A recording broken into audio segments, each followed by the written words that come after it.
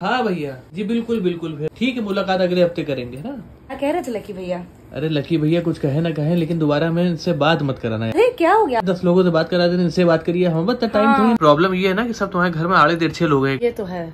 तो अब हमें जो है इसलिए फ़ोन मत देना अपने लेवल नहीं, समझ लिया करो। अब हम ध्यान रखेंगे अब हम आपको नहीं दिया करेंगे। और ये बात आप सही कह रहे हैं कि सब आड़े टेढ़े ये तो कहो हम बच के यहाँ आ गए। पता नहीं भगवान कौन से अच्छे कर्म करे थे कि इतना अच्छा घर मिला है हमको। मतलब जैसे लग रहा है कि भगवान ने बैठ के बनाए इतने अच्छे लोग आपके और एक हमारे यहाँ कोई नहीं ढंग का है। हमें भी अब समझ में नहीं आते हैं जब से हम वहाँ से निकल आए हैं बच गए आप लोग बचा लाए हमें। मम्मी जी को देख लीजिए आप मैनेजमेंट करना क्या होता है मम्मी जी से कोई सीखे।